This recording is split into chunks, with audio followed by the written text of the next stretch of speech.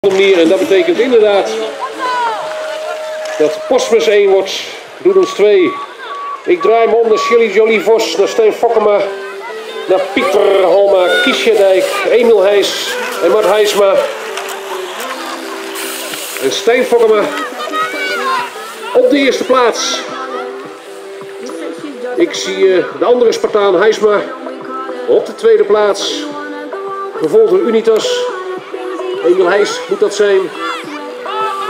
En ik zie daar eh, inderdaad nog eens even heel eh, enthousiast Fokkema die het voorwiel nog eens even optrekt.